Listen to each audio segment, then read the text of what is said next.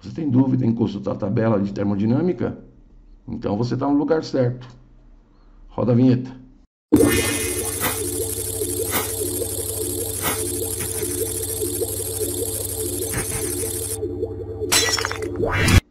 Olá, seja bem-vindo ao canal. Meu nome é Alexandre Neves. Neste vídeo vou apresentar para você como consultar as tabelas termodinâmicas e entender o que você está fazendo quando você faz essa consulta. Então aqui, de onde vem isso daí, né? A primeira coisa que nós precisamos saber é que parte de um, de um diagrama. Nesse diagrama nós temos aqui um, a temperatura em função da entropia. Aqui nós temos as entalpias em vermelho.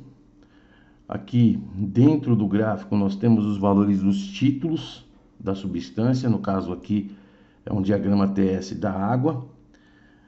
Nós temos esses elementos que estão marcados em preto, que são as pressões, tá? E em vermelho, como já disse, nós temos a entalpia. as linhas em verde são as linhas de volume específico.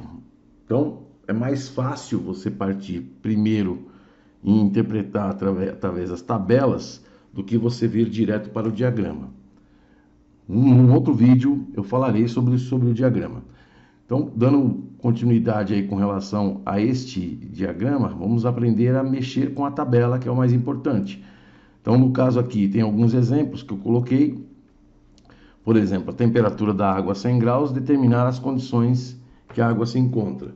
Então, aqui nós vamos pegar a temperatura como entrada da tabela e a partir daí nós vamos, com o valor de 100 graus, nós vamos procurar, por exemplo, qual é a pressão para essa condição. Então ela traz aqui, ó, 101.3 kPa.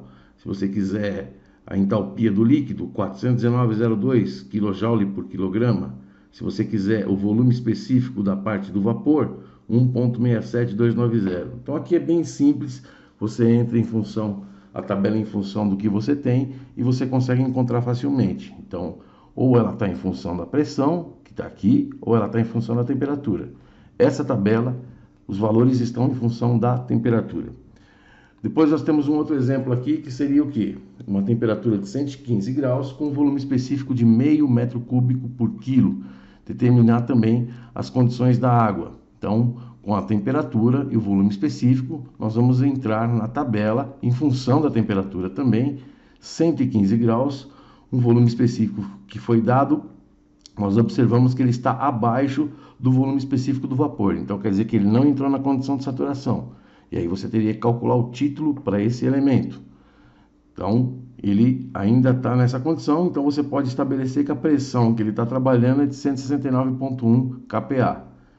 Um outro exemplo que nós temos aqui é o caso da temperatura a 70 graus, com uma entalpia de 2.380 kJ por quilograma.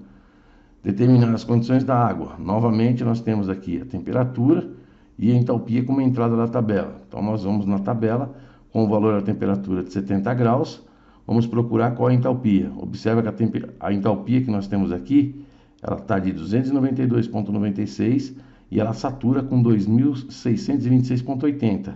Como o dado é de 2.380, quer dizer que ela ainda está na condição de vapor saturado, com uma certa umidade e a temperatura de 70 graus vai ter uma pressão de 31,19 kPa. Então foi dada a pressão de 50 kPa com uma entalpia de 2780,08. Quer saber as condições da água através da tabela para esses valores. Então entrando na tabela agora em função da pressão, 50 kPa é o que foi dado. Nós temos aqui, ó, que ela vai aí saturaria com 2.645,87, o valor que nós temos está acima da saturação.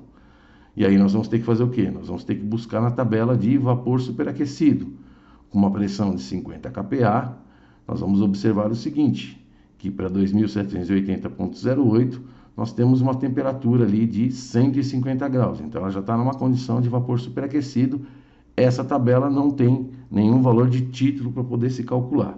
E observa que aqui ele também traz entre parênteses qual é o valor da temperatura de saturação, que é exatamente o que estava no valor, que é exatamente o que estava naquela tabela anterior de vapor saturado. exemplo, seria a pressão de 50 kPa uma temperatura de 100 graus. Então, vamos entrar lá em função da pressão. Então, nós vamos entrar na tabela em função da pressão e com a tabela em função da pressão, nós vamos observar que a temperatura de saturação é de 81,33. No caso, como nós estamos entrando com uma temperatura de 100 graus, nós vamos buscar lá os 50 kPa, a temperatura de 100 graus e os valores correspondentes de volume específico, de energia interna, de entalpia e de entropia nessas condições de, de vapor superaquecido. Então, espero que vocês tenham gostado aí. Se vocês curtiram esse vídeo, deixe o seu like. Se você não está inscrito no canal, se inscreva no canal, ative as notificações e até o próximo vídeo.